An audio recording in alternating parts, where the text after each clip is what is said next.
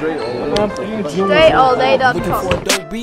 Hit up A Witness Productions. Buy your track. Smooth and Knife looking at LaMarcus Aldridge working in the post here against Mozgov. He's going to use a quick up and under movement to get the and-one layup. So let's look at his footwork and look at the way he set this move up. So I'm showing you a drill, several drills about using the step through in the post. Main thing is you got to maintain that pivot foot and there's a three point movement.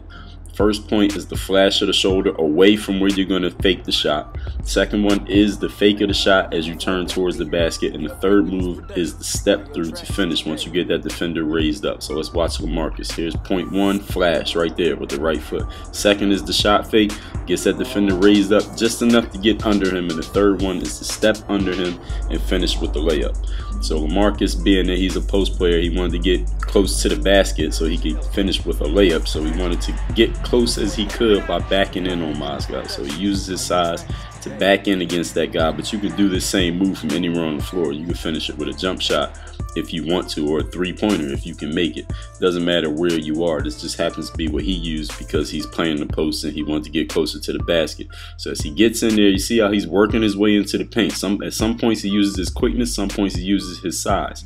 One, two, three. But that left foot the entire time stays down until he jumps off of two feet to finish that shot and he gets under him. Of course, you got to finish the play.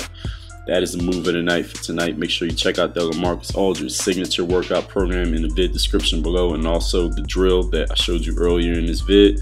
Work on your game. Questions, leave them in the comments. Thanks for checking out this Drill video. Make sure you follow all my top content up here. Follow me on all your favorite social networks right over here. And make sure you are subscribed to catch all the new content I put on on this channel every single day.